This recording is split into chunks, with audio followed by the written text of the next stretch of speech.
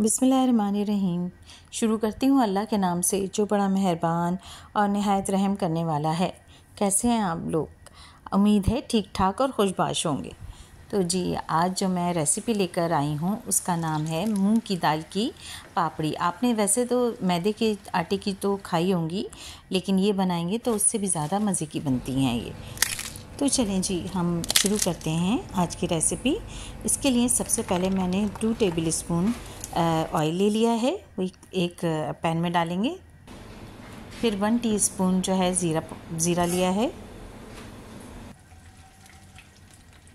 उसके बाद half tea spoon कलौजी ली है। और टेन टू ट्वेल्व करी पत्ता लिए हैं और उनको मैंने कटिंग कर ली है। और कटिंग करके फिर डाला है। और वन टीस्पून कुटी हुई मिर्चें। इन सबको मिलाएँगे। एक दो मिनट के लिए पकाएँगे इसको। उसके बाद हमने जो मूंग की दाल वन फोर्थ कप ली है, इसको मैंने दो तीन घंटे पहले भिगो के रख दिया था, वो डाल देंगे। इसके बाद वन टीस्पून नमक डाल देंगे और इसको पाँच से आठ मिनट तक पकाएँगे।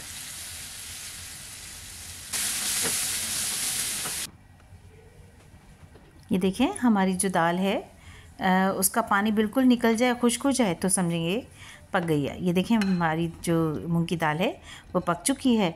फिर मैं उसको डिश आउट कर देंगे और इसको एक साइड पे रखेंगे। फिर हम दो कप जो है, वो वाइट टाटा लेंगे, यानी मैदा ले लेंगे और वन फोर्थ कप जो है, वो सूजी लेंगे और two three tea teaspoon जो है ऑयल ले लेंगे और जो दाल हमने बना के रखी हुई है, जिसमें हमने सारी चीज़ें डाली थी, वो इसमें डाल देंगे और आटे में खूब अच्छी तरह मिक्स कर लेंगे। मिक्स करने के बाद हम इसमें थोड़ा थोड़ा पानी करके डालेंगे और एक अच्छा सा आटा गूंद लेंगे। बहुत ज़्यादा नरम नहीं गूंदना हमने। ये देखें थोड़ा थोड़ा पानी डालते जाएँगे जितनी हमें नीड होगी आटा गूंदने में। तकरीबन एक कप पानी जो है ये तो उससे थोड़ा सा कम यूज़ होगा आटा गूंदने में। बस इस तरह अच्छी तरह हम आ, आटा गूंद लेंगे और बहुत ज़्यादा हमने इसको नरम नहीं करना। ये देखिए अब इसको उठा के हम कवर करेंगे। कवर करने के बाद इसको एक साइड पे रख देंगे सिर्फ़ पंद्रह मिनट के लिए। पंद्रह मिनट के बाद हम इस आटे को निकालेंगे और इसके दो हिस्से कर लेंगे।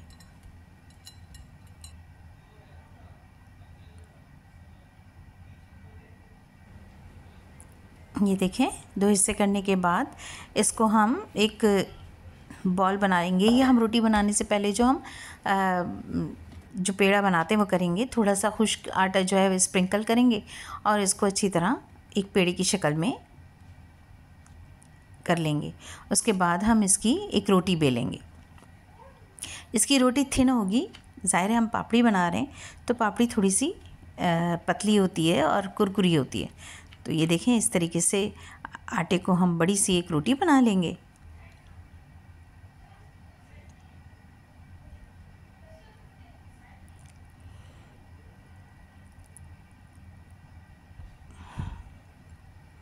ये देखें हम इतनी पतली बनानी है और इससे भी चाहें तो पतली बना सकते हैं। तो मैंने बस इतनी बेली, उसके बाद हम कटर की मदद से इसकी शेप दे देंगे। इसमें चकोर शेप भी आता है या कोई सा भी आप शेप देना चाहें, वो दे के और इसकी पापड़ी हम कटिंग कर लेंगे। खूब सारी एक साथ ही पापड़ियाँ बन जाती हैं। अब जो ये बचा हुआ आटा है इसको हम दूसरे पेड़े में इस्तेमाल करेंगे। ये देखिए पापड़ी बन के तैयार हैं। मुझे थोड़ी सी मोटी लग रही थी तो मैंने इसको और थोड़ा सा बेल लिया है ताकि इसको पतला कर लिया है ताकि हमारी जो पापड़ी है वो बहुत आ, अच्छी बने।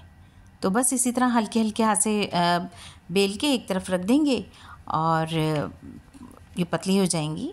और फिर हम दूसरी तरफ़ जो है फ्राई करने के लिए तेल रख देंगे।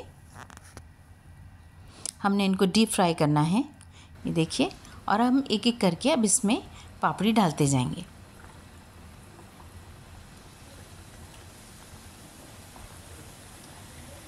मीडियम फ्लेम पे हम करेंगे इसको फ्राई। और ये देखें आप जो है उसको उलट पुलट करते रहेंगे, एक तरफ़ से हो जाएगी तो दूसरी तरफ़ करेंगे तकरीबन जब तक ये गोल्डन ब्राउन ना हो जाए।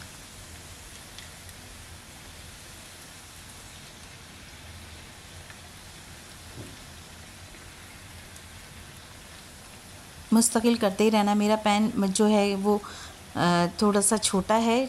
कम से कम दस बारह भी एक साथ हम फ्राई कर सकते हैं। देखिए, पापड़ी जो है, अब गोल्डन हल्की हल्की जो है, गोल्डन ब्राउन हो रही है। तो जैसे ही हो जाए, ये देखिए, दोनों तरफ़ से हो गई है मेरी ये गोल्डन ब्राउन। अब हम इसको निकाल लेंगे। इसको डिश आउट कर देंगे।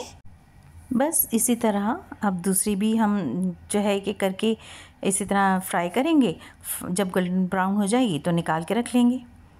मैंने इसी तरह सारी जो हैं पापड़ी बना ली हैं और देखिए ये मैंने डिश आउट कर दी हैं। अब इसमें चाट बनाने के लिए वन टीस्पून प्याज और वन टीस्पून टमाटर चॉप्ड किए हुए, वो रखेंगे, ऊपर से दही डालेंगे और सेव डालेंगे कुछ और फिर मज़े से खाएँगे। इसमें कुछ भी चाट वाट मसाला डालने की ज़रूरत नहीं है, क्योंकि वो पापड़ी इतने मज़े की है, उसमें सारी चीज़ें मिली हुई हैं और खाने का लुत्फ दुबाला हो जाता है इस तरह। अगर मेरी रेसिपी आपको अच्छी लगी हो तो मेरे चैनल को सब्सक्राइब कर दीजिए, लाइक कर दीजिए, शेयर कीजिए और बेल आइकन ज़रूर प्रेस कर दीजिए, ताकि मेरी नई आने वाली रेसिपी आपको फ़ौर मिल सके। और कमेंट करके मुझे फ़ीडबैक ज़रूर दीजिए कि मेरी रेसिपी आपको कैसी लगी। मिलती हूँ किसी नई और अच्छी रेसिपी के साथ। जब तक के लिए अल्लाह हाफिज़।